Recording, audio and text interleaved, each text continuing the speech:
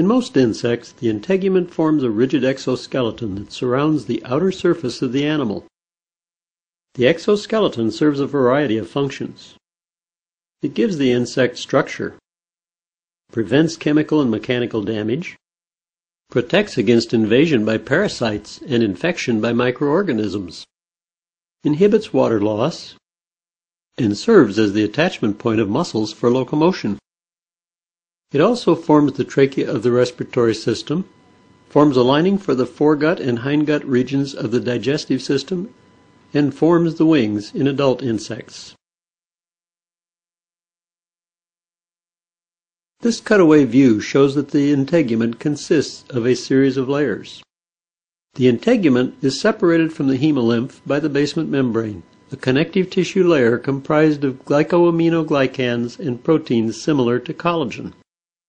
The epidermal cells are the living part of the integument.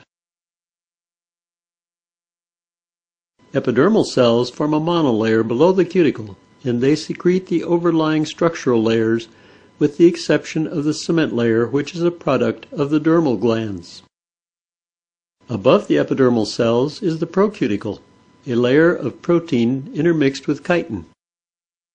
Chitin is a complex polysaccharide comprised of mainly N-acetylglucosamine subunits mixed with some glucosamine and linked in chemically resistant beta-1,4 bonds similar to the inert beta-glucose of cellulose. Chitin gives the cuticle strength and stability and aids in water retention. The insoluble chitin chains pack closely together to form microfibers of 15 to 30 chains lying parallel to each other and surrounded by protein. The chitin protein chains are deposited in the endocuticle as layers throughout the intermolt period. Pore canals are minute tubular channels that extend from the epidermal cells through the procuticle in end below the epicuticle.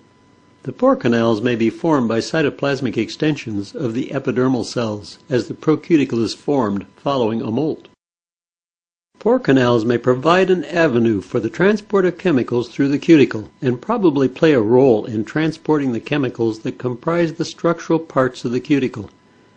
The chemicals may diffuse laterally from the canal to form the procuticle at the time of molting. After the cuticle forms, the cytoplasmic extensions retract and the remaining channel becomes the pore canal. After the molt, the procuticle differentiates into the endocuticle and the exocuticle. The thick inner portion of the cuticle is termed the endocuticle. It is usually the thickest layer of the cuticle and is soft and flexible.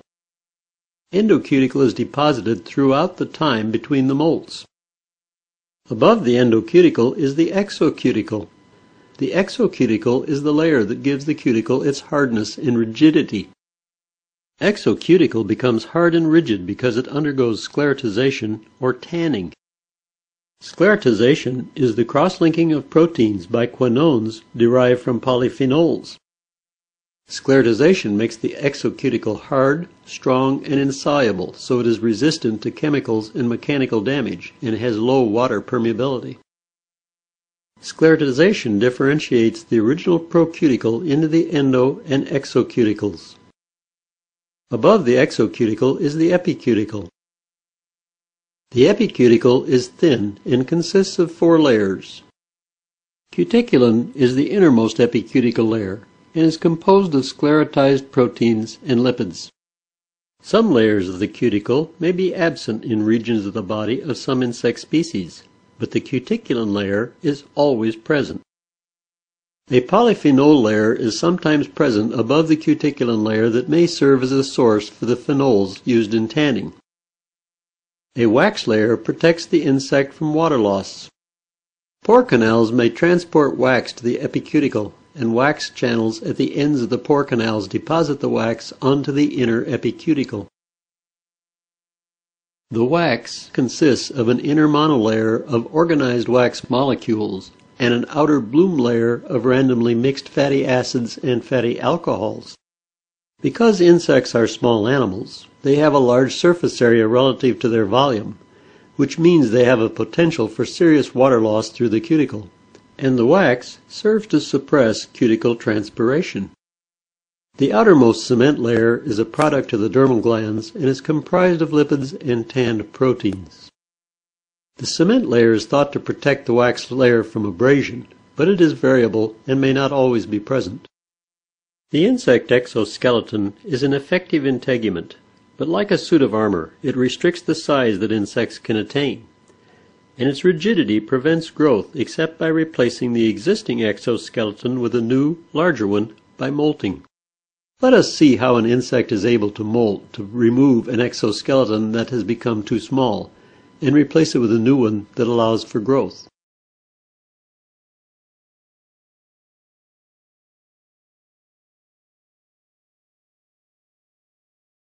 The molting process begins when cuticular epidermal cells are stimulated by exposure to 20-hydroxyecdysone, the insect molting hormone.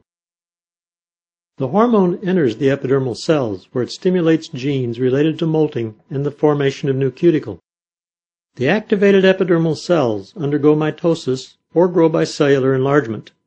This is the period of growth to form a new larger cuticle for the next instar. The existing structural cuticle separates from the epidermal cells.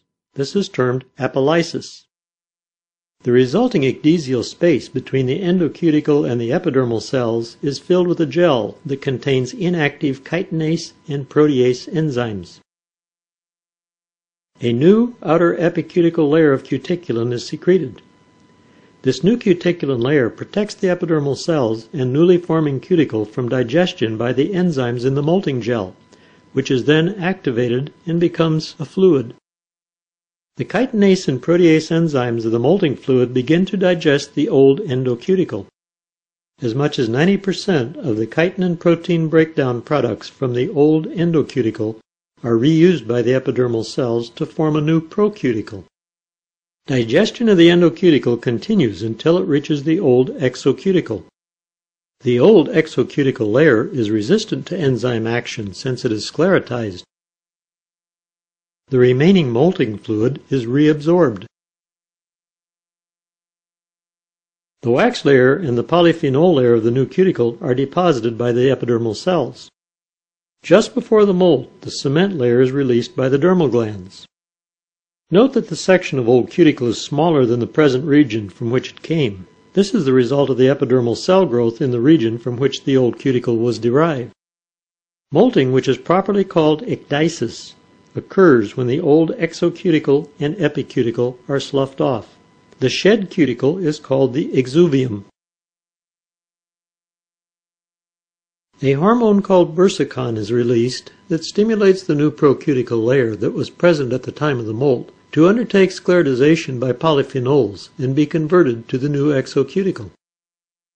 Once sclerotization is completed, no further sclerotization occurs during the remainder of the instar. During the time between the molts, new endocuticle is deposited continuously, and the cycle starts over at the next molt.